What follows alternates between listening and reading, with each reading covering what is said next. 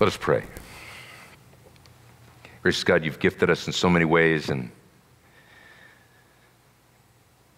we just today just take time to remember the,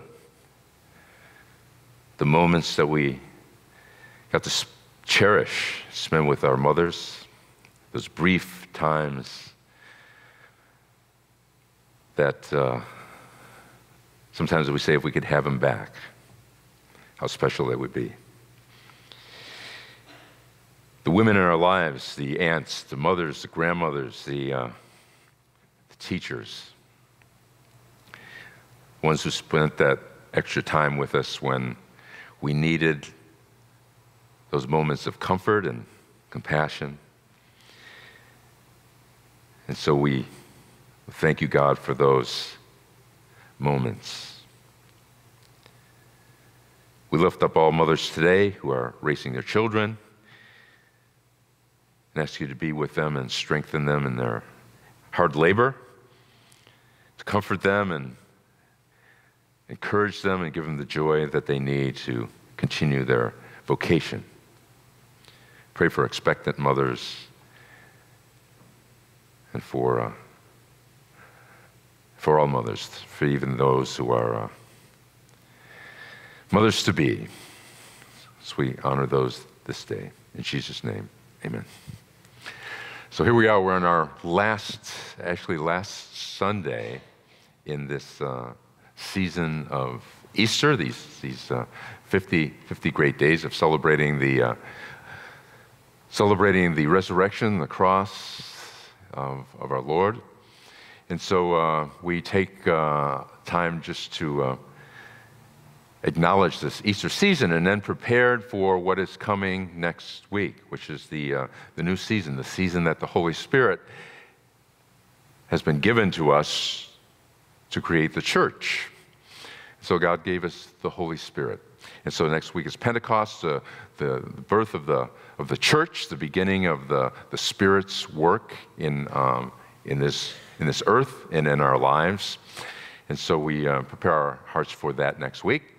Baptisms still coming along and adult children baptisms too. Uh, Holy First Communion classes are underway, and uh, next week the children will be receiving on Pentecost Sunday their First Communion. We have our Ministry of Learning classes, uh, not, to, not today, but starting again next week, and uh, about Christian parenting, about having Jesus involved in our parenting and, and uh, having uh, people who are specialists help us in different aspects of, uh, of Christian parenting. So that continues next week. Uh, Vacation Bible School coming up, so taking uh, signups and application for that, as well as this whole Splash Summer Camp this summer. And so uh, that is still around, and uh, this year's Vacation Bible School is Shipwreck. So that's the uh, last week of July. It promises to be great. Church picnic coming up, single service on that day. We'll have a patriotic uh, service that day, children's play, and a picnic to follow. So that'll be a great day coming up, June 3rd. And so our vision always is to help Christians be better Christians. So starting next week, we're changing our, our learning format, our sermon format a little bit, um, and using the Pentecost season to start that. So starting next week, uh, uh, we ask you, we suggest you to bring your Bibles, whether they're uh, on your phone, whether on your iPad, whether they're paper Bibles, electronic Bibles, whatever you're using these days. There's also Pew Bibles, in, in case you um, didn't bring one that day. So, um, and I'm even, I've even noticed I put the word please in there. So bring your Bibles, please, starting next week. And so we'll be using our Bibles in a more significant way um, than we have in the past. And so we're changing our format a little bit. You'll see the start of that. And so, uh, and that will carry us right through the whole season of Pentecost, which is the long season of the church. So starting next week. And so uh, we're going to focus on, we've been focusing on how to glorify God during this Easter time, which is what we're called to do in our daily lives and every moment of our lives. Are, we were created to glorify God. And so now we're going to focus on the other aspect of that is really how to please God. Well, how do we please God in our lives? And so that's, uh, that's where we're headed in starting next week, this Pentecost season. And so, as always, we remember the words of uh, St. Paul out of Romans 10. So faith comes from hearing, and hearing from the Word of God. Notice hearing is an active sense. It doesn't say Faith comes once you heard it, you never have to hear it again. Faith comes from hearing, and it's a, it's a process of hearing, and our faith is built through hearing, and the hearing by the Word of God. So today, we're starting our new format. We're starting actually with some questions. Today's questions are, and these won't make, may not make sense at the moment, but they will in a few minutes. What year did Abe Lincoln accept Jesus as his Lord and Savior? Ever think about that? And can you name two paintings that are in the Capitol Rotunda?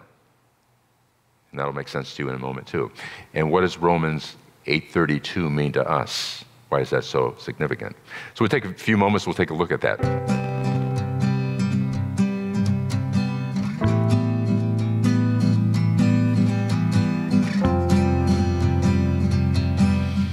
I'm a perfectionist, and so that's hard with kids. Uh, there's definitely days when I have my doubts about my abilities. Struggle with my temper. I struggle with like how I react with situations. I wish I knew how to, I guess, just calm myself before speaking to them. I wish I was better at taking time to sit down and just listen more to my child. I wish I was more confident in being a mom. I'm not the most patient person in the world. Patience. Patience is far and away probably the biggest struggle. I just want them to know just how much I love them.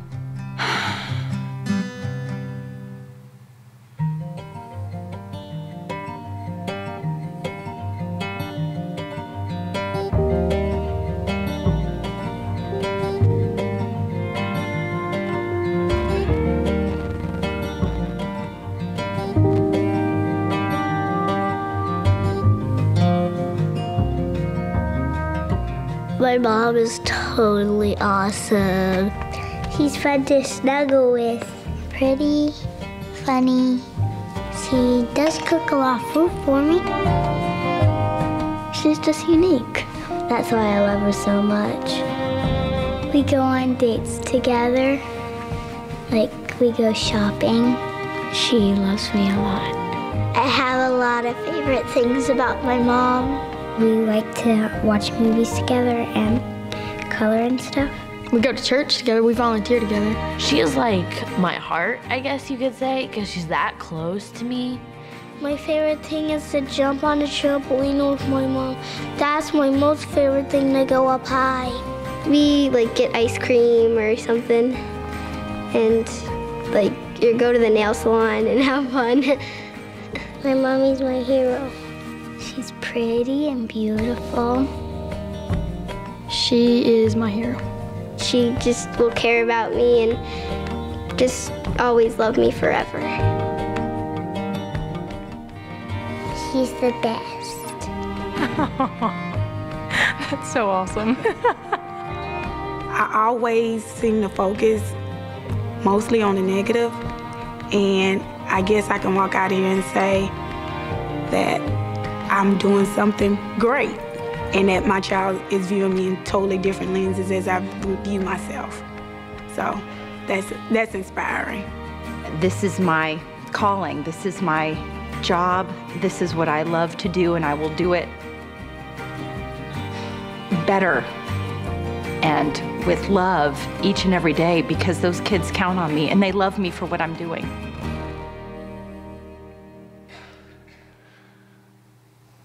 So be encouraged, moms. You are loved. You are loved.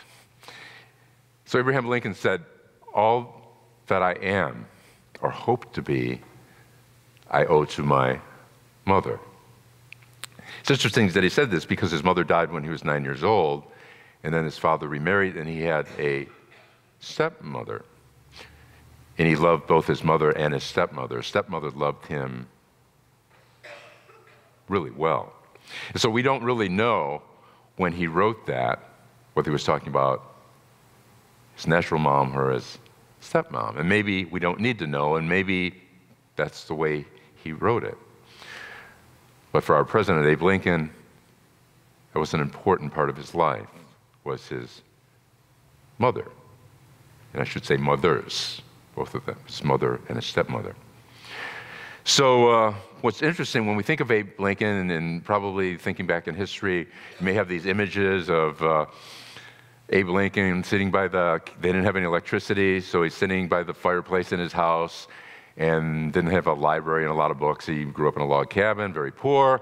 And so what they did have in the house was a Bible. And so you can almost imagine these images of Abe Lincoln reading the Bible in his house and being raised uh, in a Christian family and all this kinds of things, grows up to be a great president. Well, some of that was true, and some of that needs to be added to because it's even more significant than that. When Abe Lincoln was 53 years old, his son Willie died. Willie was 11 years old. And so this sent his wife off, off the deep end. She, she lost it. And she started going to mediums. She started going to palm readers, crystal balls, all this kind of thing, asking, looking for hope and everything. And I don't know whether she had any faith or she lost her faith, but she went through this great spiritual crisis. The same thing happened for Abe Lincoln. Not only did he lose his son, but he was in the midst of the Civil War, the beginning of the Civil War. And so in the rotunda, which I'm going to show you in a minute, the Capitol of the uh, White House, which was actually there in, a, in, the time of Abe Lincoln, in the center. And this is the actually the center I'm showing you is the uh, burial of Billy Graham. He was 99 years old when he died, and you can see there's a lot of people here. Um, and it was a, a good sized showing for Billy Graham. But around the outside of the rotunda, there are eight paintings. Eight paintings, and they're, and they're older, very old paintings, and they depict different parts of our, uh, of our history there. And um, I'm going to show you two of the paintings in a minute that are, I think, are really significant. One of them is the embarkation of the pilgrims. And these paintings are, are uh, 12 by 18 feet. These are huge paintings, 12 by 18 feet. So one of them that has been there since the 1800s is the pilgrims praying in England. You can see them praying here, reading their Bibles, getting ready for this trip to America. It's such a great, wonderful painting, it's worth going to the Capitol and the Rotunda just to see this painting, right? And so you can just you can just pour into and sense the spirituality and what was going on as they prepared to leave England in this boat, 102 pilgrims, separatists, who were coming over to glorify God and populate this new country. And the other painting, which is really significant as well, is after the pilgrims got here, what did they do? One of the first things they did and this is the baptism of po- Pocahontas. And you might say to yourself, hey, I thought Pocahontas was in a Disney movie. No, she's a real person. And so the baptism of Pocahontas is one of the paintings that is on the, on the wall of the rotunda in the Capitol building, in our nation's capital. And right behind her is her husband to be, who's going to wed her after she gets baptized. So this is one of the very first baptisms of the, of, that the pilgrims um, conducted into the New World. So the baptism of Pocahontas. So you have the, so you have the paintings on the wall. One of them is the embarkation of the pilgrims. In other words, after the pilgrims are here, the baptism of Pocahontas. So now you're wedding the, the, uh, the tribe that she belonged to and the, and the Indian chiefs to the pilgrims. So we have this, this cross cultural marriage that is one of the first ones, right? And so it's a great, great art.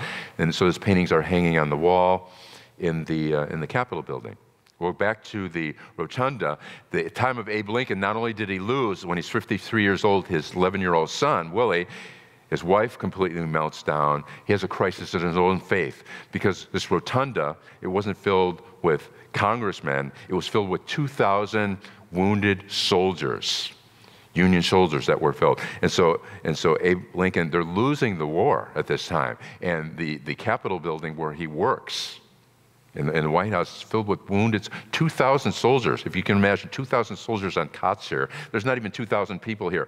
Wall to wall soldiers, wounded soldiers, bleeding and dying here. So Abe Lincoln is having his faith crisis, not only with his own family, but with his career as being a president. So what does he do? He goes and he starts to visit a minister, he starts to visit a pastor because he realizes that he needs Jesus, he needs God in his life. So he turns his life, at 53 years old, he turns his life over to Jesus, which is an amazing event because he only lived for three more years. And out of that turning his life over to Jesus came the courage to then put together the 13th Amendment, which abolished slavery because our Constitution before that supported slavery. So now he puts together the 13th, 13th Amendment, which has abolished slavery, sets out, delivers the Gettysburg Address, and also leads our nation together to keep it as one nation at the same time to condemn slavery once and for all. So, a great, great thing. But these came within the three years after he spent time every day with his pastor in Washington, D.C., at a Presbyterian church, gave his heart to Jesus, started reading the Bible, and turned his heart over to Jesus when he was 53 years old. He died at 56. So, a great, great event and a great place. So, he did owe everything to his mother, except he owes his heart. And we owe our hearts to the Lord Jesus Christ for steering him through the, one of the greatest crises our nation's ever faced. So we think of Jesus today in the scripture that Jolene read. Jesus could have easily said to one of his disciples, Hey, by the way, if anything happens to me, such as crucifixion, anything like that, would somebody take care of my mom? Could have said that easily. But Jesus uses the framework, the drama of hanging on the cross, of hanging on the cross this time where he knew that he would be hanging on a cross and his mother would be there, the time that he could send to the world to tell his disciple, Behold, this is your mother, and to his mother, Behold, this is your son. One of the greatest images we can ever think about. Behold your mother. Behold your son. While he's dying on the cross, a few minutes before his death, proclaiming to the world to see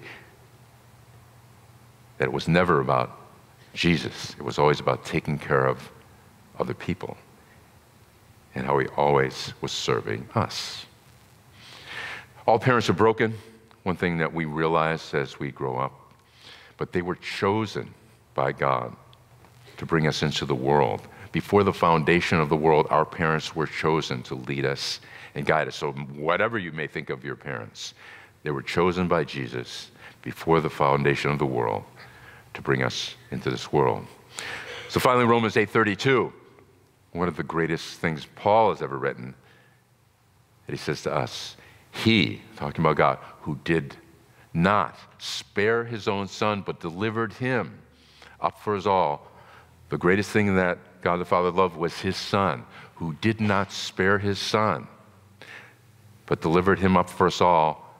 Then how shall he not also freely give us all things? If God was going to give us his son, the greatest thing he ever could give, how could we be worried about lesser things? How can we be worried about aches and pains and paying the rent and will our kids make it to school and what's going to happen here and there? How can you worry about those things? He, gave, he already gave us the greatest thing possibly he could ever give. The lesser things, of course, we're going to get. Of course, he's going to take care of us in the lesser things because he already gave us the greatest thing he could possibly give us his son. Is anything else harder than that?